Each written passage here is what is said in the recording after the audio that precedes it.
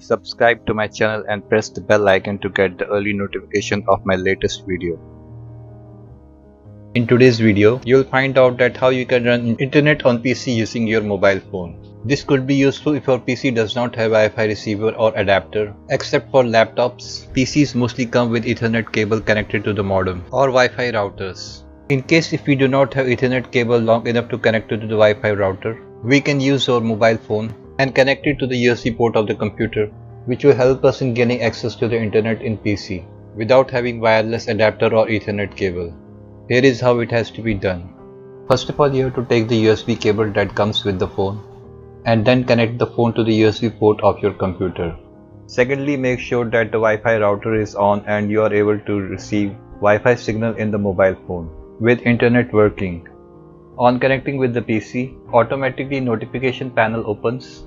If not, then open the notification panel and tap the USB connection icon.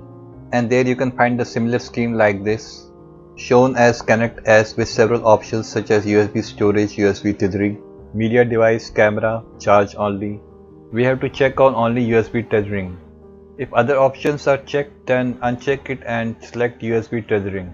Here is how it will look on PC. Press Windows plus X key and go to network connections. There you will find Ethernet icon showing network cable unplugged.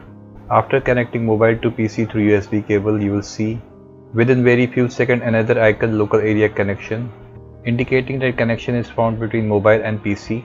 Then we'll open the browser and check and within very few seconds or instantly you can start surfing from the browser.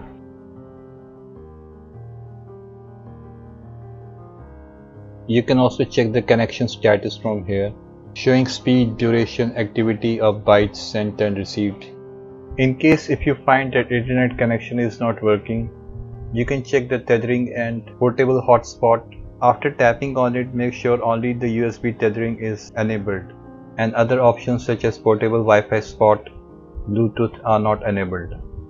Hope you found this video helpful then do like, share, subscribe, comment for more such videos.